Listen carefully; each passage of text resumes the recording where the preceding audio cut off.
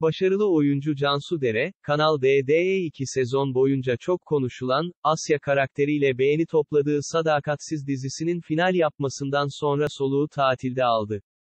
Başrolünde yer aldığı Sadakatsiz dizisi 25 Mayıs çarşamba akşamı final yapan Cansu Dere, deniz kenarında kırmızı bikinisiyle çektirdiği fotoğrafları, 2-3 milyon takipçisinin bulunduğu Instagram hesabından paylaştı, yorum yağdı, tatil sezonunu açan ve mutluluğu yüzüne yansıyan güzel oyuncu, ve tatil başlar notunu düştü. Dere'ye kalp emojileri gönderen takipçileri, bu nasıl bir tatlılık, işte şimdi yaz geldi, Türkiye'nin en güzel kadını, mükemmelsin ve hep mi güzel olunur şeklinde övgü dolu mesajlar yazdı.